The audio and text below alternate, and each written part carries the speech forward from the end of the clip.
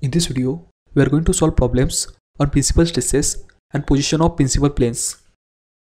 For the first problem, the statement is at a point in the strain material, there are two mutually perpendicular stresses of 600 Newton per mm square and 400 Newton per mm square. Both are tensile and they are accompanied by shear stress of 100 Newton per mm square.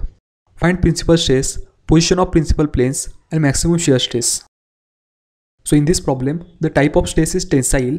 So I will take these tensile stresses with positive sign. And these tensile stresses are accompanied by shear stress that is tau xy of 100 Newton per mm square.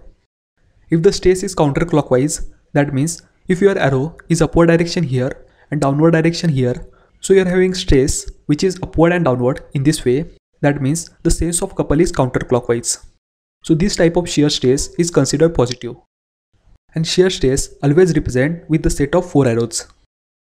Here we need to find out major principal stress that is sigma n1 and minor principal stress that is sigma n2 and position of principal planes.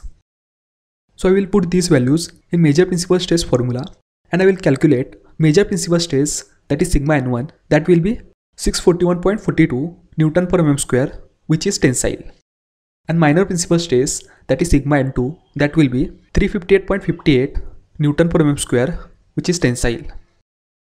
Now to calculate positions of plane of major principal stress that is theta n1 I will use this formula and I will calculate theta n1 as 67.5 degree and theta n2 is equal to theta n1 plus 90 degree.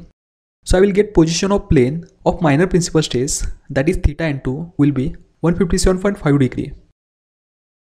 Now we have to calculate maximum shear stress that is tau max which is equal to plus or minus sigma n1 minus sigma n2 divided by 2.